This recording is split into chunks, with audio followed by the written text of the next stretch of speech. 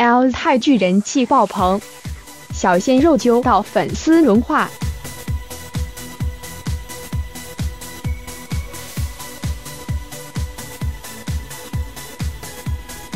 泰剧《一年生》二六名演员在台北举行见面会，问他们人气有多高。门票开卖当天秒杀，粉丝从泰国一路跟机，踏出机场大厅，上百名粉丝早已准备手幅、海报迎接，还有神通广大的粉丝预定跟他们下台同层房间。Sinto 笑，我一度有了自己是男团成员的幸福感。